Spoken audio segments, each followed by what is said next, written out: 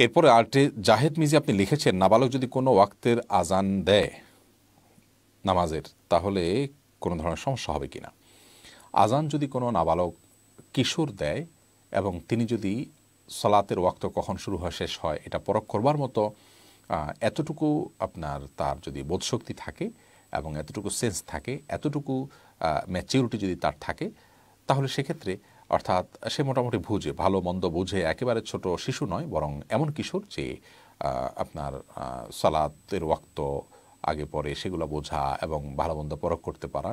অর্থাৎ যেটাকে বলা যায় যে বালেগ হওয়ার কাছাকাছি।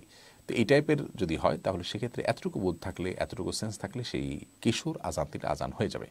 এবং এ বিষয়ে একজন সাহাবি বর্ণনা করেছেন যে, তিনি আজান দিয়েছেন এমত অবস্থায় যে, তিনি তখনও প্রাপ্তবয়স্ক হননি, কিশোর ছিলেন। এ হাদিস থেকে প্রমাণ গ্রহণ করে আমরা বলতে পারি যে কিশোর যদি আজান দেয়, সে আজান বিশুদ্ধ হয়ে যাবে। যদি তার ভিতরে এতটুকু সেন্স থাকে যে সে ওয়াক্ত শুরু হয় কখন, শেষ হয় কখন বুঝে এবং মোটামুটি একজন কিশোর হিসাবে তিনি ভালো মন্দ পরখ করতে পারেন, তার মধ্যে সেন্স থাকে যথেষ্ট।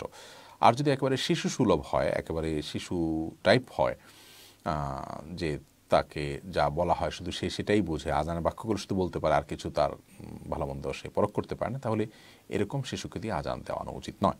ফরজ ফরজ যে আজানগুলো ওয়াক্তের আজান আছে সেই আজান।